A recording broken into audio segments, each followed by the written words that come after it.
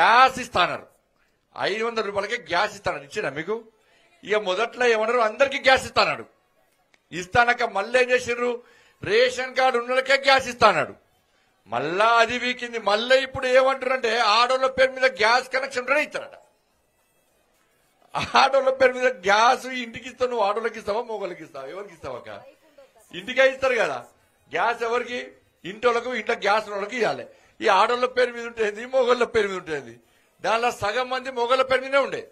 నరేంద్ర మోడీ గారు ఉజ్వల gas free connection ఇచ్చాక ఆడోళ్ళ పేరు మీదే ఇచ్చిండు. అవునా కదా? అంతకుముందు మొగోళ్ళ పేరు మీద గ్యాస్ ఉండే. ఇప్పుడు ఆడోళ్ళ పేరు మీద ఉంటుంది మొగోళ్ళ పేరు మీద గ్యాస్ ఇవ్వాలి అడిగాలి మళ్ళీ ఇవాళ పేపర్ చూసిన. మూడు వేల ఐదు వందల ఇల్లు ఇస్తాడు నియోజకవర్గానికి.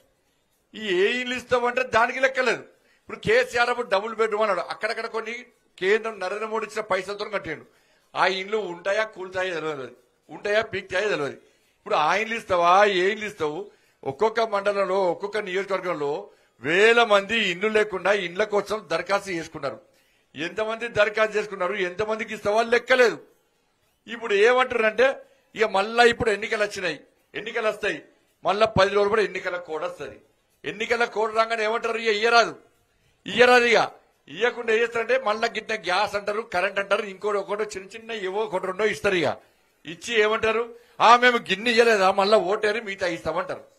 అంటారా అన్నారా ఇప్పుడు మళ్ళీ ఏమంటారు? ఏమే సార్ మీరు కాంగ్రెస్ వాళ్ళు ఓట్లు వేయించుకుంటుంది వంద రోజులు అయిపోతున్నది ఎన్నికల కూడా వస్తుంది మీరు ఇచ్చిన ఆరు గ్యారెంటీలు ఇస్తారా అయ్యారా అని చెప్పి నేను అడుగుతుంటే నన్ను తింటారు వాళ్ళు.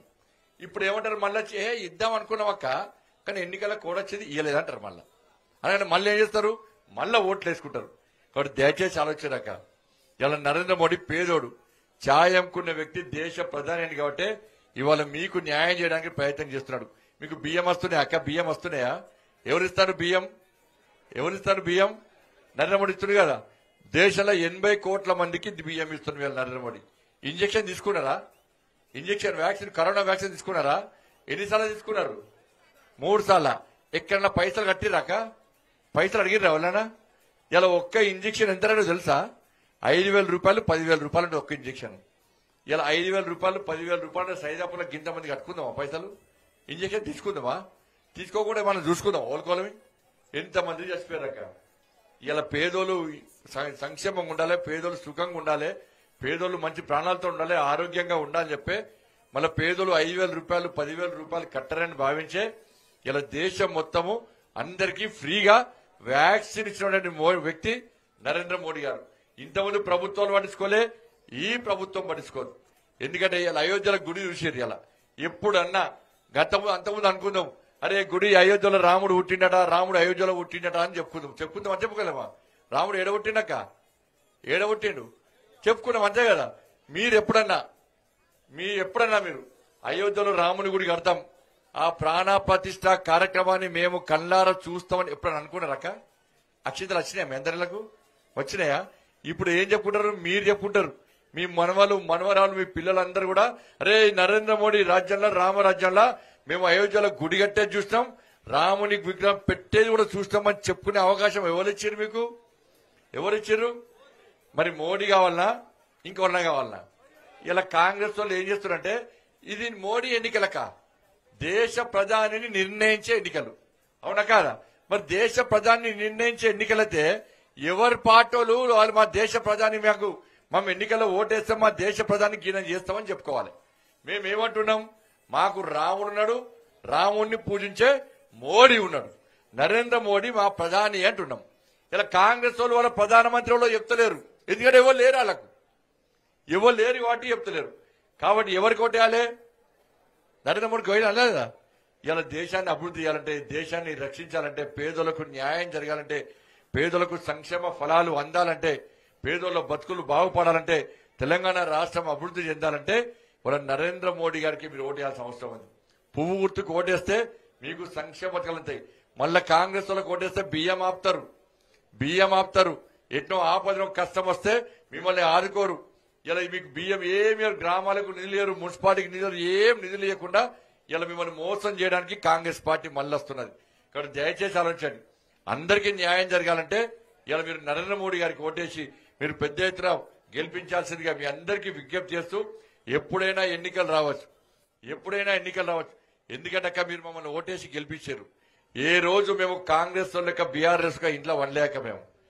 మీ పిల్లల ఉద్యోగాల కోసం కొట్లాడమక్క మేము. నూట యాభై రోజుల పాటు మీరు గంట రెండు గంటల అచీవింగ్ అవునా కాదా? రెండు గంటలు కాలు గుస్తున్నాయా గుస్తలేవా ఎండ కొడుతుందా కొడతలేదా? మేము నూట యాభై రోజుల పాటు నూట యాభై రోజుల పాటు ఈ తెలంగాణ మొత్తము పదహారు వందల కిలోమీటర్ల పాదయాత్ర చేస్తాక నేను. నూట యాభై రోజుల పాటు పాదయాత్ర ఎండలు తిరిగినా వర్షం తిరిగినా చలికాలం తిరిగినా. ఇలా మీకోసం కొట్లాడినా. మీ బాధలు తెలుసుకోవడానికి కొట్లాడితే ఇలా నా మీద కేసులు పెట్టారు. ఎన్ని కేసులు తెలుసా అన్న నా మీద? వంద కేసులు పెట్టారు నా మీద. వంద కేసులు పెట్టి రెండు సార్లు జైలు తీసుకుపోయారు ఇలా నా ఇంటి కోసమో నా కుటుంబం కోసమో ఆస్తుల కోసమో పైసలు సంపాదించుకోవడమో కేసులు పెట్టలే నా మీద. ఇలా పేదల కోసం కొట్లాడినప్పుడల్లా నా మీద కేసులు పెట్టి జైలుకు పంపారు. దేశంలో ఏ రాష్ట్ర అధ్యక్షుడి గన్ని కేసులు లేవు.